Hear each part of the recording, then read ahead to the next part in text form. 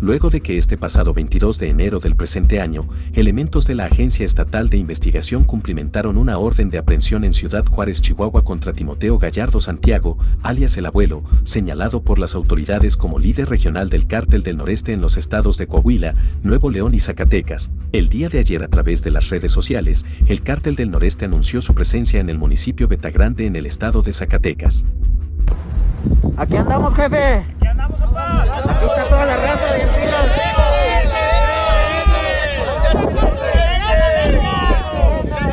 Aquí andamos, papá. ¡Puro CDN a la verga!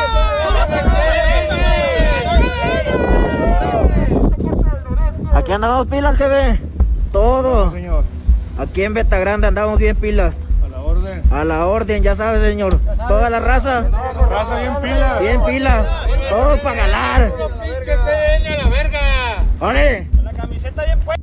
La presencia del cártel del noreste en la entidad no es ninguna sorpresa ya que Ismael Camberos Hernández, secretario de Seguridad de Zacatecas desde 2017 a 2020, reconoció que en la entidad operaban el cártel del Golfo, el cártel del noreste, el cártel de Sinaloa, el cártel Jalisco Nueva Generación, además de los talibanes, una célula derivada de los Zetas y asentada en San Luis Potosí.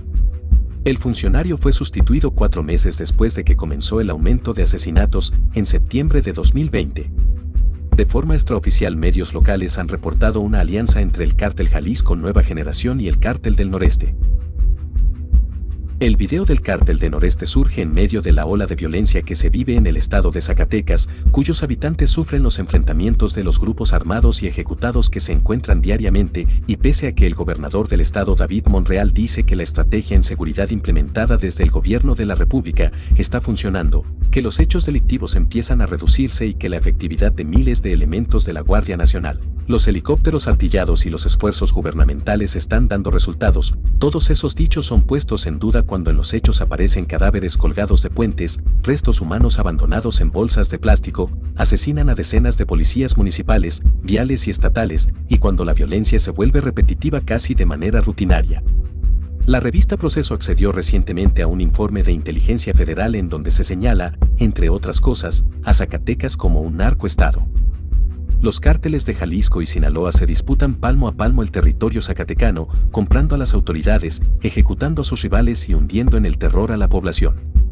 Y peor, se prevé un inminente incremento de la violencia, señaló Proceso citando el informe federal.